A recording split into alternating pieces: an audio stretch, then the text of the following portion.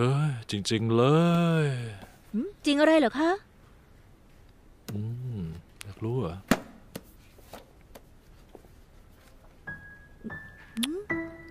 ทำให้ผมภูมิใจจริง ทำอะไรเนี่ยนี่มันที่สาธารณะนะ นี่วางใจเธอ ผมดูแล้วไม่มีใคร นี่ คุณว่า หืม ถ้าตอนที่เราเจอกันครั้งแรก ผมไม่วิ่งหนี จะเป็นยังไง ครั้งแรกเหรอ ผมรู้ว่าคุณเป็นเจ้าลิงครั้งแรกที่นี่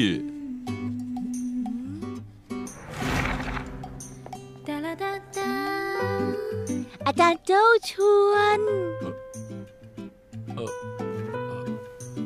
เออเออคือ โอ๊ยเฮ้ยเอ้ย มีหน้าล่ะ ตอนนั้นคุณถึงได้วิ่งเร็วขนาดนั้น คุณไม่กลัวล้มหัวแตกเลยเหรอ ถ้าผมล้มหัวแตกคุณยังอยากได้ผมอยู่ไหมก็ต้องไม่อยู่แล้ว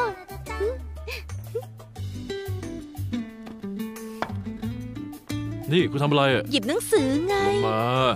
ลงมาฮะผมหยิบให้ ชุดนั้นค่ะ ดินแดนที่ว่างเปล่า โอเค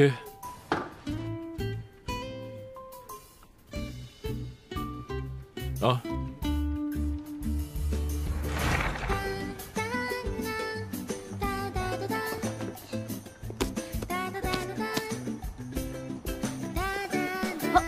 พี่ชาย คุณลืมความผิดที่แย่งนัสเมะไปจากมือของฉันแล้วเหรอ ตอนหลังผมก็ให้คุณไปแล้วไม่ใช่เหรอ อ๋อ งั้นคุณทำความผิดไม่ขอโทษฉันหน่อยเหรอคะ มานี่ทำอะไรอะ